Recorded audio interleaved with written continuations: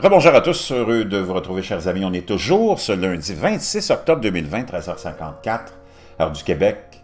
C'est vraiment frais ici aujourd'hui, même on pourrait dire froid. On a eu de la neige ce matin, hein, euh, dans la région de Laval.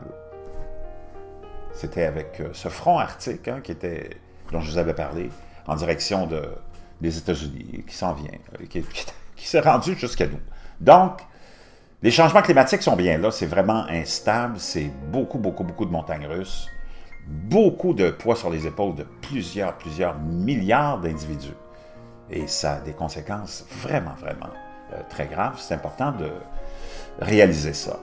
Maintenant, on a beaucoup d'activités sismiques et volcaniques aussi, je vous en ai parlé.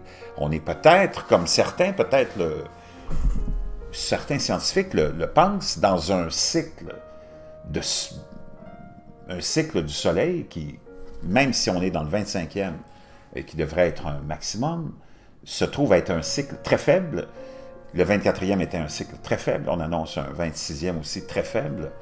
Ça fait beaucoup d'années de, très peu d'activité solaire et de refroidissement euh, graduel. Et aussi euh, d'éjection de via l'atmosphère du Soleil qui, en minimum solaire euh, et en grand minimum solaire, s'affaiblit et laisse beaucoup de... Il y a beaucoup de trous euh, coronaux et laisse euh, passer beaucoup d'éjections et de protons, neutrons, toutes sortes de radiations. D'ailleurs, les radiations sont en augmentation de, en moyenne, 19 à 20 depuis trois ans. C'est ce qu'on a observé, entre autres en Californie ce qui cause beaucoup de casse-tête, surtout si on est en changement de pôle magnétique, on additionne à tout ça, qui sont tous des euh, événements cycliques.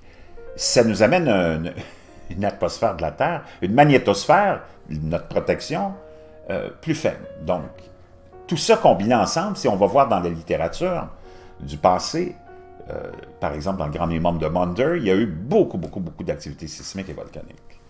Et là, on en a eu, beaucoup, hein, depuis 3-5 ans. Je vous en parle presque quotidiennement. Et là, on a un autre. Euh, hier, il y en avait beaucoup, je vous en ai euh, rapporté, de l'activité sismique. Et là, on est rendu à Sinabong, en Indonésie. On a été euh, obligé d'ordonner des évacuations. Il y a eu une coulée pyroplastique au volcan Sinabong.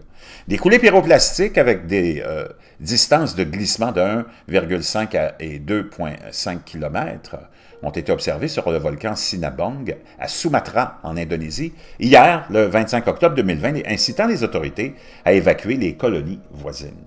Le Centre de volcanologie et d'atténuation des risques géologiques a déclaré que le premier flux a été produit à midi 51 à une distance d'environ 1,5 km, tandis que le second a eu lieu à 20h58 le même jour, à une distance de 2,5 km euh, Mohamed Nouroul euh, Arori, pardon, euh, du poste d'observation de Sinabog a déclaré que le dôme de lave du volcan ne cessait de croître, exhortant les euh, résidents à faire preuve de prudence, car de nouvelles coulées pyroplastiques sont possibles, même plus grandes. Donc, je vous laisserai le lien de tout ça dans la boîte de description. Vous irez voir des images qui sont euh, accessibles là-dessus. On a déclaré que de nombreux habitants avaient décidé de rester sur les pentes de la montagne et, avaient exhorté, les avaient exhortés à partir avant qu'il ne soit trop tard. Il serait peut-être préférable pour nous euh, d'éviter le volcan car personne ne peut survivre aux nuages de cendres rapides des cratères du mont Sinabog, a ajouté euh, le spécialiste d'observation. Les lahars sont un autre danger posé par euh, ce volcan, donc les personnes vivant à proximité des bassins versants de Sinabog devraient également être conscients de ce danger. Donc vraiment, euh, beaucoup, beaucoup, beaucoup d'activités. Je vous reviens aussi, on va faire le tour des temps. Il y a une nouvelle tempête qui est en train, en plus de celle de Zeta, une autre qui est en train de se former, euh, proche des Caraïbes. Beaucoup de tempêtes partout, on va aller faire le tour de tout ça tout à l'heure. Vraiment, les changements climatiques sont là, sont affligeants, et on ne peut plus se mettre la tête dans le sable. Je ne sais pas ce qu'on peut faire, sauf aider les gens, mais à part ça, on est assez impuissant. Je reviens.